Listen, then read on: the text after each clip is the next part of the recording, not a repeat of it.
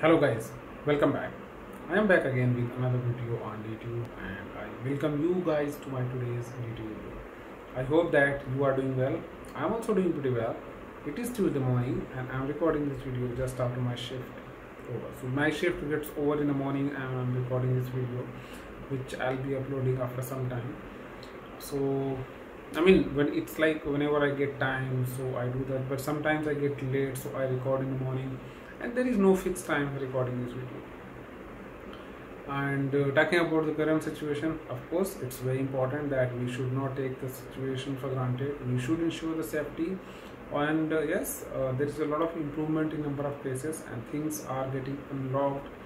Only a uh, few things are uh, under the restriction but still things are getting unlocked. Although on the low pace but that is fine because at least things are getting back to its normal position however not the exactly normal but it's still in better situation.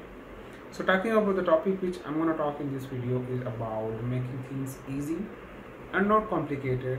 So in the same scenario i think sometimes questions are more complicated than the answer. And because the question is complicated sounds like we usually avoid answering such questions. Do you guys believe that sometimes a question can be so long. An answer can also be in just couple of words. It can also be yes or no. But yes for just yes or no a question can be quite lengthy and even it might sound complicated. But that doesn't mean that if something sounds complicated it will be complicated. It can be easy and i'm truly sure that there are many situations we come across and i'm sure you guys must have gone through when the question sounds so much i mean it sounds terrible and complicated and i usually do not want to get involved with that. But i think you should do that. You should not try to stay away from the question since this is something we should give more attention to because you never know what could be the answer that can be even easier than the question and there are many situations and scenarios which happen.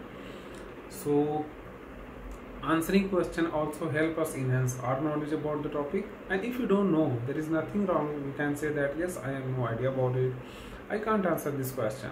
But at least before that we must go through the question to understand if we are really able to answer or not. If we are then it's great. If you are not then accepting the fact that yes i'm not able to answer the question is not wrong. We can easily accept and admit in front of people so that is something i wanted to talk with you guys in this video. Hope you guys liked it. Thank you so much for watching my video.